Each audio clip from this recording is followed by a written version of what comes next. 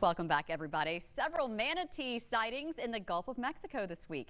WKRG News 5's Whitney Leibel tells you where multiple sightings have been reported so far this summer. This week in the Gulf, locals and tourists have spotted manatees multiple times close to the beach. I've seen, I've seen about five this year. Uh, sometimes we see more, sometimes less. Uh, they usually come migrating down the beach and then usually head toward Mobile Bay. I'm here at Turquoise Place Resort here in Orange Beach where the manatees seem to love it as two guests have spotted them twice this week. If you spot a manatee, get a picture, but make sure you also call the Dauphin Island Sea Lab. Manatees are federally protected species, so that's why it's important to let the Sea Lab know if you spot one.